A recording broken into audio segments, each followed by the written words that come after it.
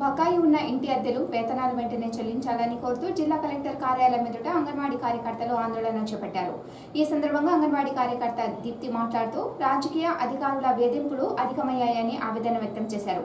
వాలంటీర్లు వచ్చిన తర్వాత విభజించు పాలించు అన్న రీతిలో అధికారులు ప్రవర్తిస్తున్నారని ఆమె ఆరోపించారు వేధింపులు వర్ధిల్లాలి అంగన్వాడీ ఐక్యత వర్ధిల్లాలి అంగన్వాడీ ఐక్యత ఇవ్వాలి పెండింగ్ బకాయిల్ని వెంటనే నెలలుగా పెండింగ్లో ఉన్న వేతనాలను వెంటనే రద్దు చేయాలి పిఎల్ఓ డ్యూటీలను రద్దు చేయాలి పిఎల్ఓ డ్యూటీలను ఇవ్వాలి అద్దెలను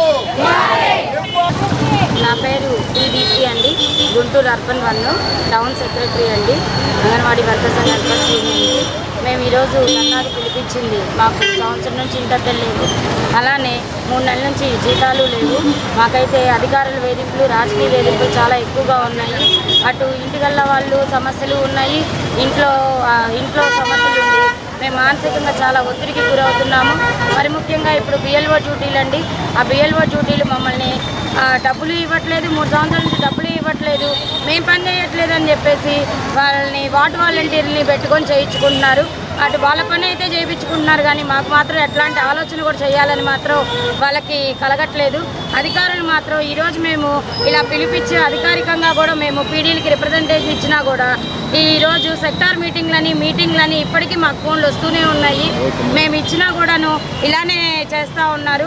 ఎక్కడైతే మమ్మల్ని విభజించి పాలించే పద్ధతిలోనే చేస్తున్నారు కానీ మా సమస్యల పరిష్కారం అనేది అవ్వట్లేదు.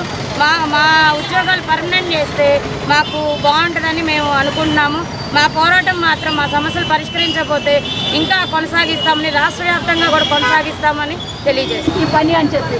అంటే అక్కడ లేనటువంటి కులాల పేరుతో ఇస్తా ఉన్నారు ఇచ్చినప్పుడల్లా వాళ్ళు ఎవరు కూడా అంటే ఎవరు దీనికి రావటం లేదు ఆయా లేదు. ఎన్నాళ్ళు ఈ సమస్యల పరిష్కారం కాకుండా మనం పనిచేస్తాం? అందుకని చెప్పి మన సమస్య పరిష్కారం అయ్యేంత వరకు కూడా రేపు ధర్నా కొనసాగే పరిస్థితుంది అందుకని చెప్పి మీ అందరూ మనందరూ మన వాళ్ళందరినీ కలుపుకొని రేపు పది గంటల కల్లా గుంటూరులో ఉండాలి. మీరు ఎప్పుడో ఒక ప్రాజెక్ట్ కార్యదర్శి అండి. నా పేరు రమాదేవి. అయితే ఎందుకు ఇంత సమస్యలు అంటే ప్రభుత్వం మారినప్పుడల్లా రాజకీయ ఒత్తిళ్ళు బాగా ఎక్కువగా ఉంటున్నాయండి. ప్రభుత్వాలు మారుతున్నాయి కానీ అంగన్వాడీ జీవితాలు అయితే మారట్లేదు.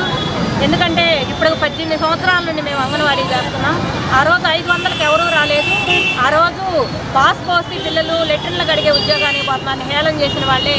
ఈరోజు మా పార్టీ వాళ్ళకి ఇచ్చుకోవాలి అని చెప్పేసి అంగన్వాడీలకి చిన్న చిన్న విషయాలకి రాజకీయ ఒత్తిళ్ళు తీసుకొచ్చి మెమోలు ఇవ్వటము అలాగే ఇవ్వాల్సిన బిల్స్ ఏమీ ఇవ్వరండి. పెండింగ్ వెజిటబుల్స్ కాన్వెంట్స్ కుటుంబంలో నా భర్త నన్ను పోషిస్తాడు తప్పితే ఊళ్ళో ఉన్నటువంటి పిల్లల్ని స్కూల్ సెంటర్ అయితే పోషించరు.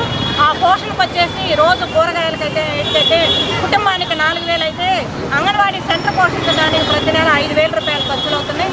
ఇంటి అద్దెలు కూడా పదమూడు నెలల నుంచి బకాయిలు ఉంటే ఒక్కొక్క ఫ్యామిలీ లక్ష రూపాయల దాకా బకాయిలు పడి వాళ్ళు వడ్డీలు కట్టే పరిస్థితి ఉంది.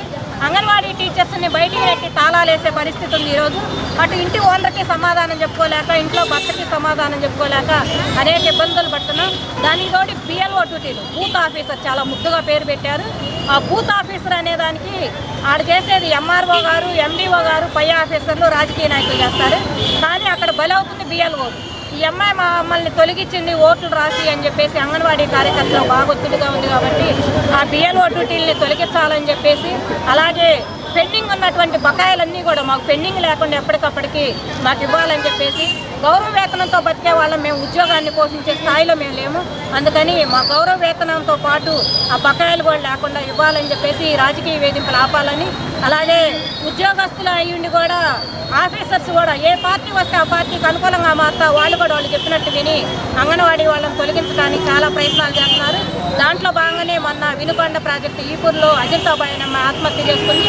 అలా అమ్మాయిది బయటకు వచ్చింది కానీ బయటికి రాకుండా ఉన్నటువంటి సమస్యలు చాలా ఉన్నాయి. అవన్నీ పరిష్కారం కావాలని మూడో తారీఖు నాలుగో తారీఖు ఈరోజు ధర్నా అందరూ కంపల్సరిగా వచ్చే వాళ్ళందరూ కూడా దయచేసి యూనిఫామ్ రండి.